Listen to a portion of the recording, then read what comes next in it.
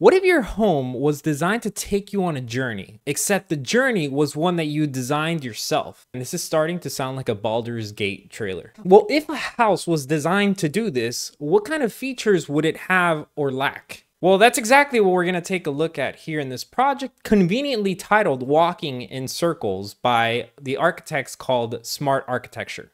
So sit down and relax as we take a journey experiencing a journey of a house that has a journey, like some cryptic inception type architecture video. Now, I think the best way to start this is with the floor plan because this house does something that many houses don't do, and that is to create a long walking path for you to get to the entrance of the house.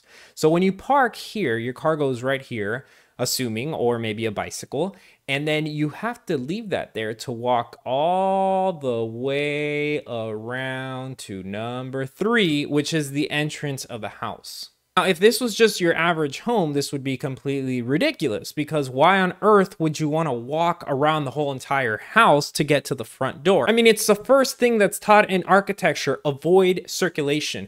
But when you're trying to create a journey, an experience, then you have to do things like this. Now, along this long path to the entrance of your house, you're gonna find interesting moments like this, interesting moments that also change because the main focal point here is the shadows and the wind that you're feeling as you're walking through this space different moments of the day are going to have different shadow patterns all around the floor of this project and it's just going to be a different experience each time. Not to mention with the changes of the season there's going to be more changes to the types of shadows that you see here. Typically when we see a space like this we like to frame something. We like to put a window or we like to put an interesting detail at the end. Something to have a sort of interest as you're walking toward the end of this corridor. But that doesn't exist here. There's no window to the landscape landscape outside of your house. No, because the whole point is your own journey in this experience. We don't care about what's happening on the outside. We want you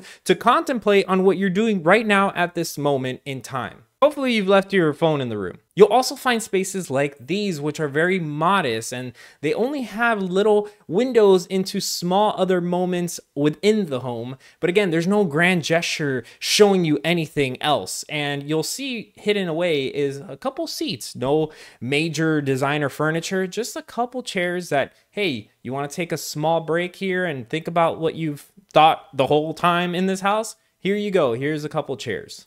Funny enough, when you are sitting down and you decide to leave, this is the view, and you'll almost see like the house itself is blocking your view from the landscape that's happening behind it with this wall over here. It's kind of like telling you like, hey man, forget about what's out there. Think about what you're doing. Now, there are parts in the home that actually have a view, but as you can see, the view, although is extremely beautiful, it's not highlighting anything specific. You can't really see much except for some trees and some mountains in the distance. So again, it's all about your meditation, your contemplation of what you see and what you, your thoughts are. Now, honestly, this has to be one of the most beautiful gestures in this home. You have two bodies of water. Inside you have a tub and outside you have a secondary tub. And whether you're inside or outside in this space, it's just a tremendous feeling of tranquility and peace that you must feel being here. There's no exposed structure. The house is not trying to show you anything interesting that it is doing. It's just framing the sky for you, letting natural light come in, very peaceful, and some contrast of vegetation behind. You're not going to find any TVs in the bedroom. You're not going to find anywhere where you can mount a television. So don't even think about that. Reviews are actually going to be into the architecture itself, into this courtyard. And the interesting thing about this detail is that you're not looking at a cool feature of the house. Even though it's a tremendous view, the design itself is so minimal that it just kind of highlights everything that's going on around it.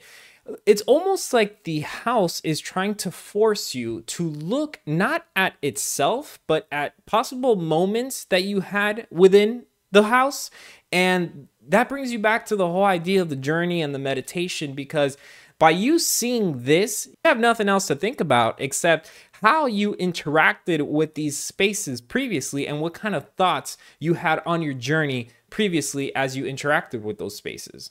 This is designed literally to get you walking in circles around the project, thinking about your life, thinking about your own journey, creating your own journey. Interesting thing is that the architecture doesn't highlight anything, it doesn't frame anything, it doesn't become a focal point. It actually serves as a backdrop to whatever experiences you're going through, and it's completely beautiful.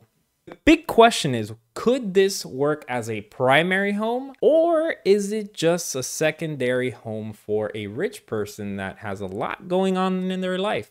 I don't know. I'll let you guys decide that in the comments. You guys take the heat. Leave me out of it.